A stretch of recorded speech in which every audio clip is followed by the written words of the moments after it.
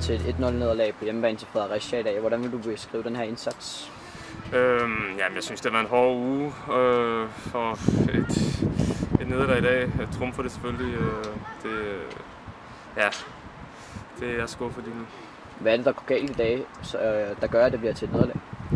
Jamen, jeg synes, at øh, i perioder spiller rigtig godt. I store perioder spiller rigtig godt. Øh, og i, i andre perioder mangler vi lidt momentum, lidt energi. Øh, og i en af de perioder, der synes jeg, de scorer et, et, et mål på, på vores fejl, egentlig. Og det, det er der udslagsgivende i dag. Er det oppe i hovedet på jeres spillere, at det ikke helt fungerer for tiden? Det, øh, jeg tror måske langsomt begynder det at blive øh, en, en mental faktor, men, øh, men indtil videre synes jeg egentlig, at der har været godt humør, og vi har fokus på ikke at skulle, øh, skulle øh, være negativ mentalt.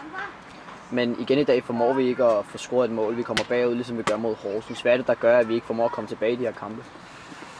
Ja, det, øh, det, det er rigtigt nok. Det, øh, der kan du have en pointe i forhold til, øh, om vi er, er mentalt lidt, lidt ustabile. Øh, det synes jeg egentlig ikke, ikke at vi er. Øh, men, øh, men det er rigtigt nok. På den anden side, så lyver resultaterne heller ikke, og, og, og vi skal altså vi skal til at kæmpe hårdere for, for både målene og pointene, øh, og hårdere end vi har gjort indtil videre.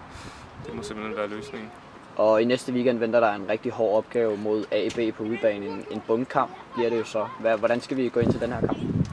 Jamen det bliver, øh, vi får heldigvis en, en hel uge uden, øh, uden pokal eller midtugekamp. Øh, så øh, jeg er sikker på, at vi er friske og, og, og klar til den kamp, øh, hvor vi skal give alt. Det, øh, det, er, en, det er en såkaldt 6 kamp, og, og den, den er mere end noget andet øh, vigtigt, hvis vi skal øh, tale om overlevelse i den her række. Sonnenflüber wie